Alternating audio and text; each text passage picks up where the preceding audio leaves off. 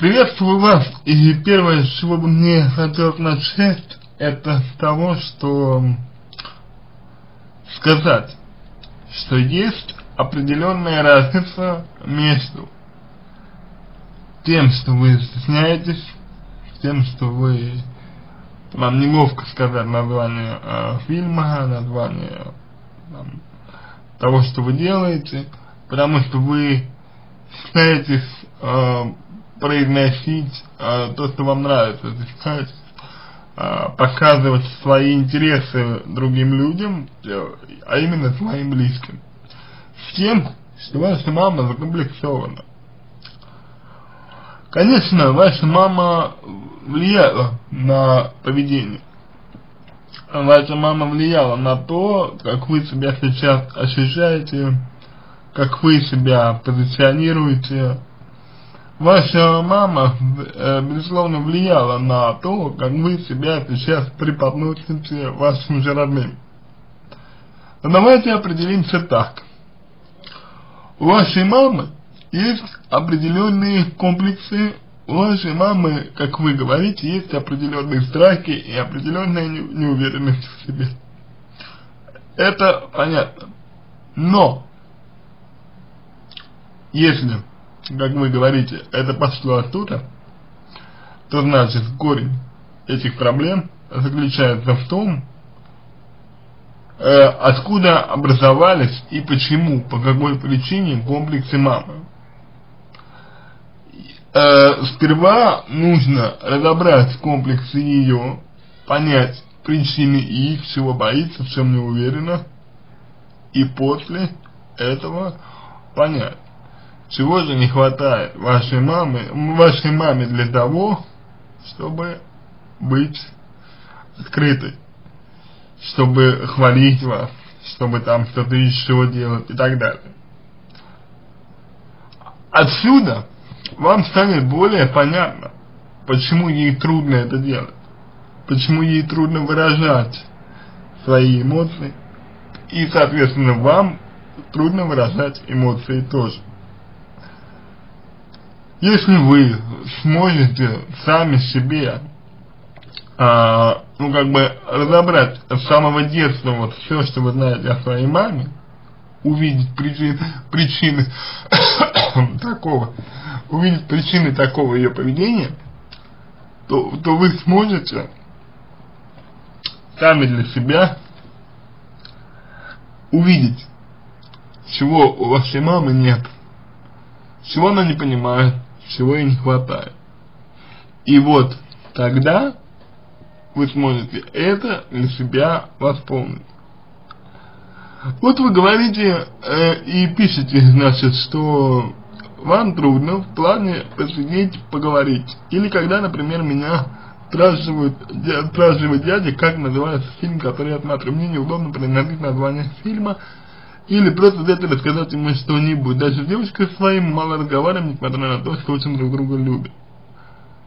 Э, вы знаете, если ваша мама подавляла свои интересы, то нужно э, понять, почему она это делала, для чего она это делала, для чего она подавляла э, свои интересы. Потому что вы подавляете свои же интересы тоже. Почему вы их подавляете? Вы считаете это, их недостойными? Или вы боитесь, что ваши родители вас не поймут? и ваша девушка вас не поймет. Или, может быть, вы считаете, что у них слишком э, другие интересы, а вам, это, вам не получится донести до них то, что интересно лично вам. Если так, то, конечно сразу донести не получится. Ну, например, вы скажете своему дяде название фильма, и, и вы, наверное, знаете, что это название фильма дядя ничего не скажет. А если вы скажете название фильма и раскроете сразу общий, общий смысл на понятном языке дяди, то ему будет это более близко, и он сможет вам что-то ответить. То есть для каждого человека нужна своя структура подачи информации. Для каждого человека нужна своя структура раскрытия смысла того, что вам нравится. Ну, например, если э, ваша мама, допустим, любит строгость, э, педантичность, а, аккуратность э, там и так далее, то логично, что вы будете э, стараться передать ей всю суть. Если вы будете говорить что-то больше, что-то дольше, то она быстро потеряет к этому интерес. Вам нужно передать ей суть, то, ей будет понятно. Как бы поставьте себя на ее место и попробуйте представить, как бы ей было понятно то, что вы хотите ей передать. Ваша девушка то же самое. Вы знаете, какая она. Вы знаете, что ей интересно. И этот момент тоже нужно учитывать. В зависимости от этого представьте э, ваши интересы ей так, как ей будет понятно. С того угла, который ей будет более близок. Кого-то интересуют факты, кого-то интересует результат, кого-то интересуют эмоции, кого-то интересует что-то еще. Вот с той стороны, с которой каждому, каждый ваш близкий воспринимает информацию, вот с, с этой стороны и подавайте им свои интересы. Объясню. Объясню на примере, как это лучше, э, ну, как это работает. Смотрите. А, есть, допустим, скажем, скажем, видеоигра.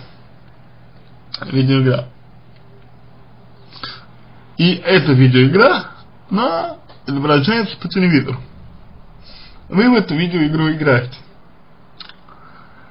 Вот представьте себе, что э, заходит в комнату ваш дядя и говорит, о, а что это такое ты тут делаешь? Вы говорите, вот играю. Любой человек понимает, что игра это игра. Что есть игра? Игра это отыгрывание какой-то роли. В, в искусственно созданной ситуации. Да? Но человек, когда слушает это слово, слово игра, он не думает о, о том, что я вам сейчас рассказал. Ему не требуется раскрытие значения слова игра. Он говорит, о, а что это за игра такая? И вам нужно передать этому человеку, вашему дяде, смысл того, что вы делаете. Если ваш дядя человек действия, говорите, говорите просто, сражаюсь, там, там, допустим, мечами, там, щитами, топорами. С кем? С врагами. И все вашему дяде, в принципе, больше ничего не нужно. Если ваша мама приходит и спрашивает, что вы, что вы делаете, вы отвечаете ей, например, с точки зрения идей. Вы говорите, я стараюсь там за добро. И мама говорит, о, о, мой сын там добро, добро несет и так далее. То есть ее волнует иде, идейная сторона. Приходит ваша девушка, вы знаете, что она ее интересует там одежда, одежда, дизайн, там, да, исторические какие-то эпохи и так далее. И вы говорите, а, вот я играю рыцарем, там, э, там, сражаюсь с другими рыцарями, то есть на турнирах, там, и все, все такое. Я говорю, ох, как романтично, рыцарь, она спрашивает, а дамы, например, там есть, ну и что-то вроде этого.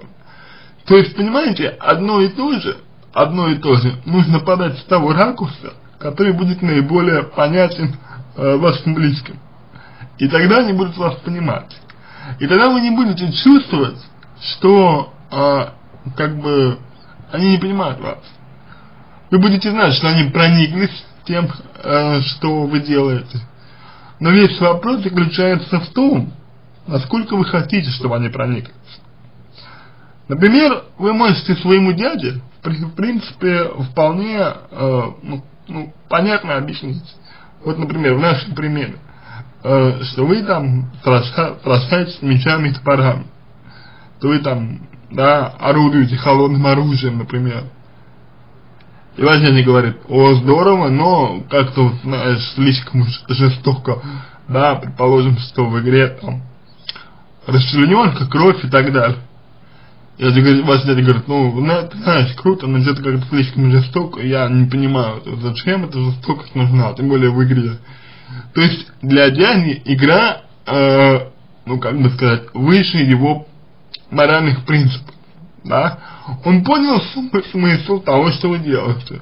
Для него это действие, ваше действие, обрело смысл.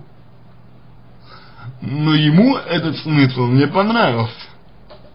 И если вы смысл можете до дяди донести, да, то вы можете сказать ему, что делать, и дяде, и маме, и девочке, например, то сделать этот смысл близким дяде, или объяснить ему, например, что это всего лишь игра, что там в действительности вы никогда никого там не обидите, никому ничего не сломаете, не отрубите, вас не получится. Почему? Ну потому что ваш дядя э, слишком сильно визуализирует. У дяди, ну, это в моем примере, не обязательно э, это в действительности так. У дяди э, э, отсутствует визуализация, возможность визуализации. И он, в принципе, не воспримет то, что вы э, делаете. Он скажет, ну, какой-то ужас полный что это вообще за игра такая жестокая, чему она учит и вообще. Или мама, например, скажет, что идея понятна, да, а, нести добро, но, простите, а где добро, где зло, и, в общем, скажет, а не ошибаетесь ли вы там Э, с тем, с тем, какую сторону взяли, да, сторону добра или сторону зла и так далее. А девочка скажет, вот ты знаешь, мне кажется, эти доспехи такие уродливые, мрачные и так далее. То есть человек может не принять то, что вы делаете.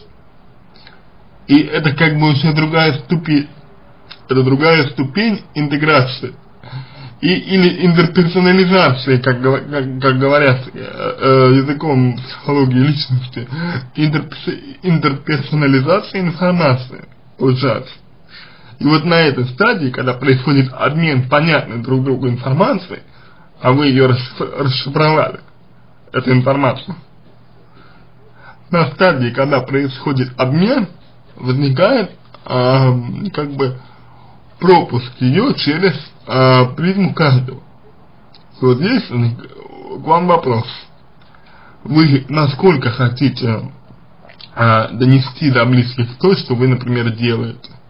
Вы насколько хотите э, приобщить, приобщить своих близких к своим интересам? Ваш, ваш запрос, ну, собственно говоря, покажет средств.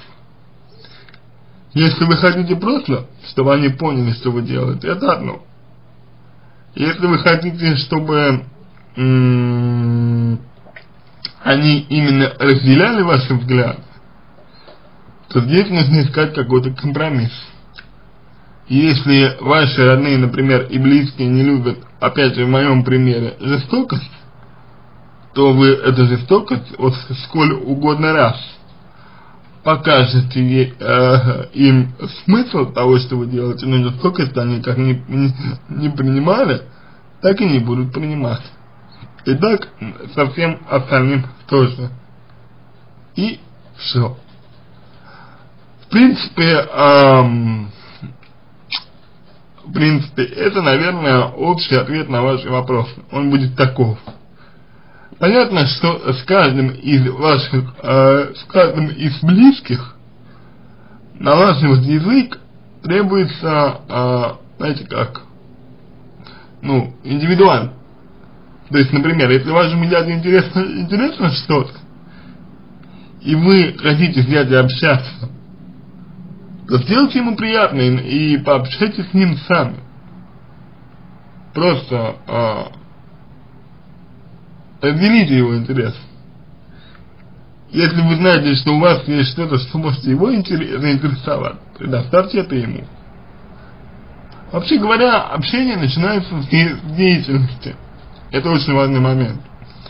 И если вам тяжело разговаривать, или не о чем разговаривать, то это значит, что у вас нет ничего общего. А чтобы что-то общее было, нужны интересы, общая деятельность, общие какие-то моменты. Так вот, общие моменты создаются, опять-таки, исходя из того, что интересно вам обоим. Что интересно вашей маме, чем она хотела с вами позанима, позаниматься, например. Что интересно вашему дяде, чем бы он хотел с вами заняться. Что интересно вашей девушке и так далее. Разделите их интересы, разделите их э, там, дела, их э, увлечения, их хобби. Видите, что человек чем-то занимается, вызовите ему, вызовите ему помочь. Спросите, а чем он занимается, а что он делает. И таким образом вы станете ему ближе. С точки зрения а, комплексов, а, не нужно делать что-либо ради похвалы. То есть вот вы говорите, что вашей маме трудно э, говорить вам молодец и хвалить вас. Не надо ориентироваться на похвалу и, и на оценку чего-либо. Знаете, э, люди, вообще любые люди, мы здесь не говорим не только про ваших близких, э, хвалят часто, как и ругают. Но их мнение, это мнение очень переменчиво. И ориентироваться на него нельзя, не стоит.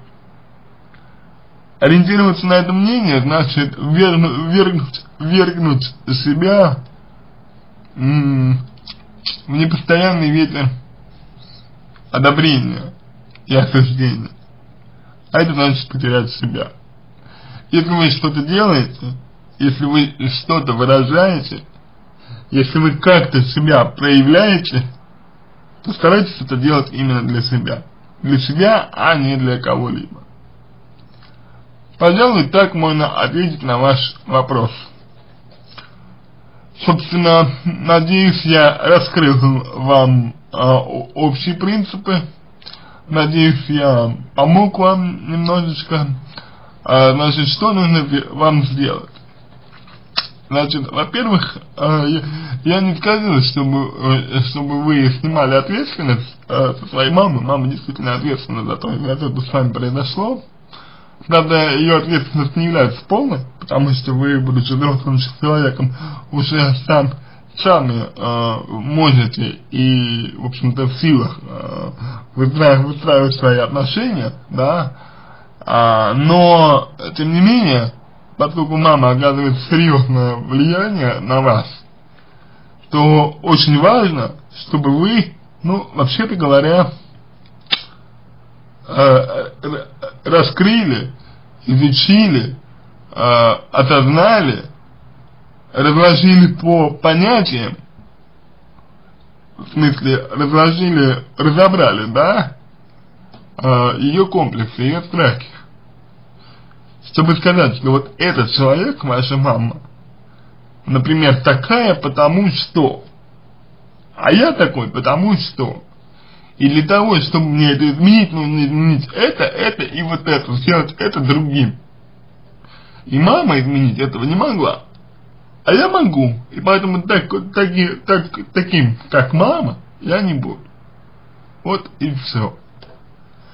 Собственно говоря, э, с тем, чтобы разобрать э, вашу, ну как бы, вашу жизнь, вашу, э, жизнь вашей мамы, чтобы разобраться в ее комплексах, раскрыть их, а, я предлагаю вам свою помощь, или вы можете выбрать э, помощь любого другого эксперта. Значит, э, со мной вы можете просто написать мне текст этой, пом этой помощи, э, этой истории жизни, прошу прощения. Я вам э, этот э, текст разберу, в формате такой вот записи, когда вам будет удобно, вы ее прослушаете.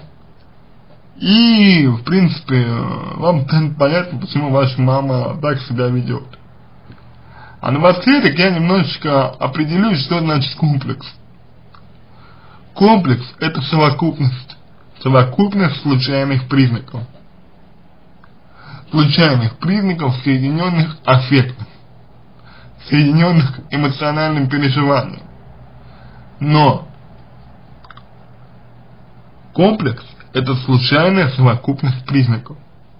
Это не общий какой-то единый признак, по которым отбира, отбираются те элементы, те предметы, вещи, абстрактные э, суждения и понятия по каким-то конкретным э, признакам.